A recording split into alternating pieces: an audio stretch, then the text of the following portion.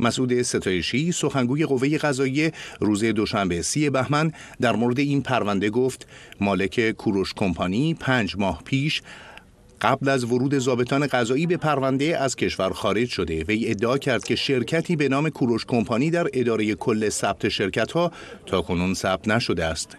پس از گذشت چندین روز از رسانه‌ای شدن کلاهبرداری این شرکت روز دوشنبه ابوالفضل نصیری مدیر کل ثبت شرکت ها و مؤسسات غیر تجاری سازمان ثبت اسناد و املاک کشور هم گفته شرکتی به نام کوروش کمپانی ثبت نشده.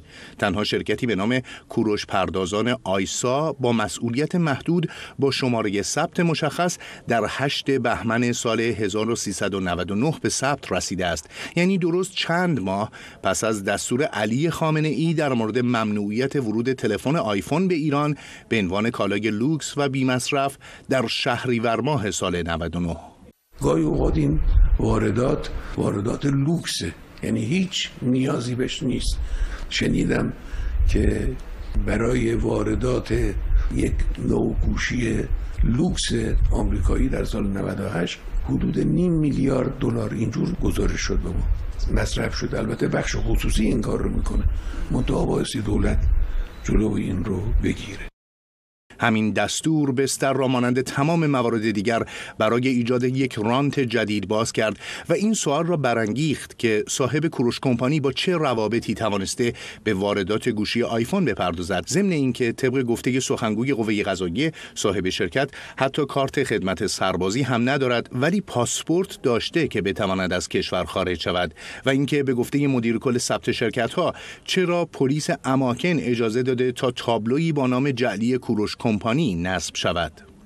امیر حسین شریفیان مالک کوروش کمپانی پس از خروج از کشور گفته حدود 500 چهره شناخته شده یا به عبارتی سلبریتی در مجموع 10 میلیارد تومان بابت تعریف از این کمپانی دریافت کردند. موضوعی که خود گواه بر روابط این مالک با مسئولین دارد.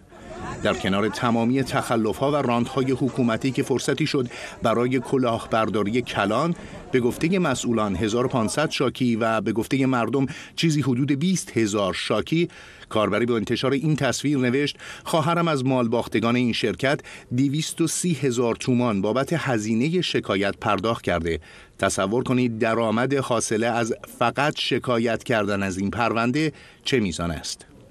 بسیاری از کاربران با اشاره به فریب خوردن مردم ایران نوشتند این افراد که آیفون 50 میلیونی را 20 میلیون تومان می‌خواستند بخرند فرزندان همان کسانی هستند که سال 57 به امید آب و برق مجانی انقلاب کردند. بسیاری از سادلوهی مردم و یا طمع نوشتند. کاربری با انتشار این آگهی که چهار میلیون تومان برای بازگشت پول خود به دعا نویس بدهید. تا برای بازگشت پول شما دعا کند نوشته عجیب اما واقعی.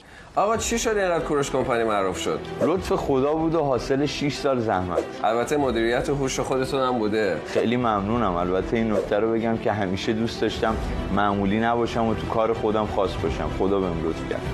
با این حاشیه ها چه می‌کنید که برای کوروش کمپانی درست کردن؟ والا حاشیه که همیشه برای کارا و آدمای بزرگ تو ایران هست. ولی مهم اینه که محکم وایسی و بگی اول خدا و محکم و با قدرت به هدفت فکر کنی. با وجود یک فساد سیستماتیک در حکومت و راندهای بیشمار در گوش و کنار ایران و البته فشار اقتصادی و نبود آزادی مطبوعات برای روشن کردن مسائل داستان کلاهبرداری ها ادامه خواهد داشت.